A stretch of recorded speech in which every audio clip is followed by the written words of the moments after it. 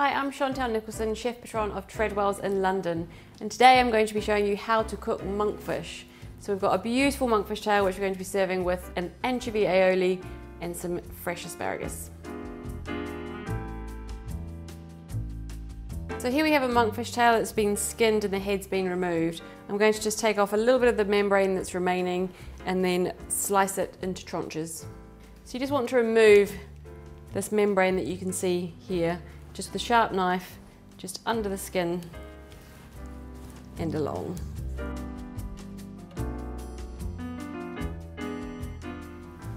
So to cut through the bone, you'll need a serrated knife.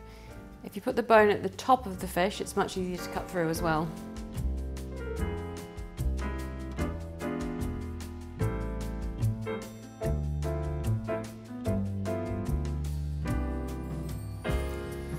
Next we're going to salt the fish in rock salt for 10 minutes.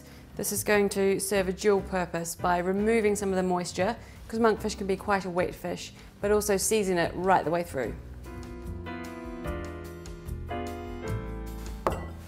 Pop the monkfish in and pack it again with rock salt on top. Make sure you set a timer, 10 minutes maximum.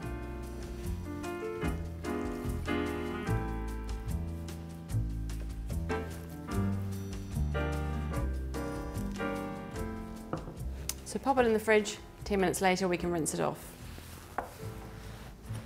So for the aioli we've got three egg yolks here. I'm going to grate one clove of garlic. We've also got some Dijon mustard, white wine vinegar and a touch of anchovy sauce for a bit of extra zing. So pop the mustard in.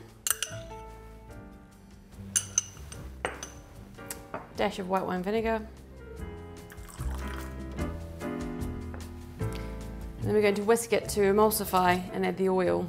I generally tend to use a mix of slightly less intense olive oil, more like a pomace oil, and just finish it with a little olive oil, otherwise it can be a little bit bitter.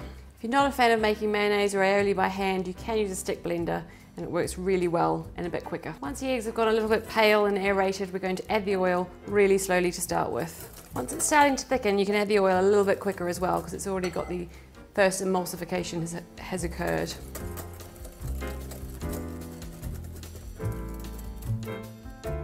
That's all of the pomace oil. We're just going to finish with a touch of olive oil to add a bit more richness.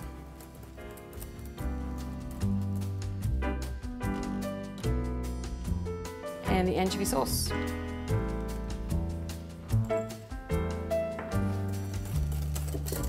Because the anchovy is quite salty, I'd suggest you taste it before you add any extra seasoning, just to make sure it's not too overly salted. There we have our aioli. So the fish was salting for 10 minutes, we've just rinsed it off and patted it dry. Now we're about to start cooking. So really hot pan, nice foaming butter before we put the monkfish in.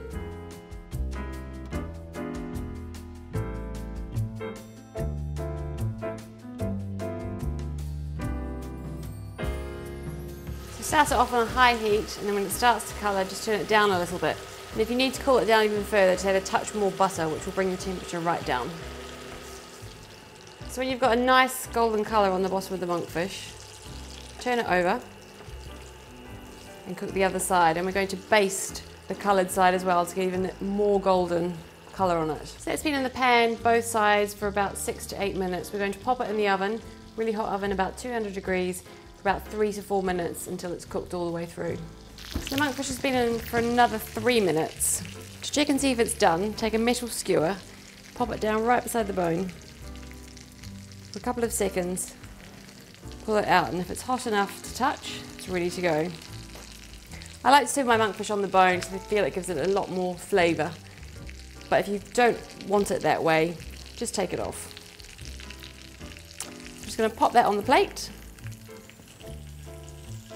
I'm just going to heat up some of the blanched asparagus I prepared earlier in that delicious monkfish butter.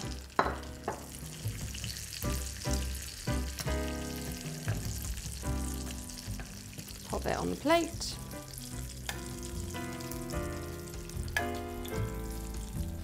And then a really large dollop of the anchovy aioli.